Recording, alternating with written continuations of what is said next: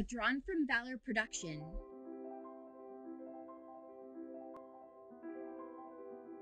From the young child staying at home to his dad going off to work.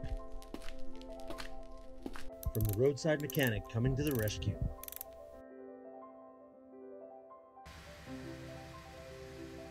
To the delivery driver dropping off much needed supplies.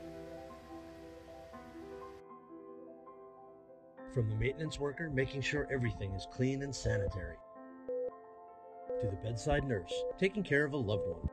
Everyone plays a small part in this big effort of keeping our friends and loved ones safe and healthy. Do your part. Be a hero.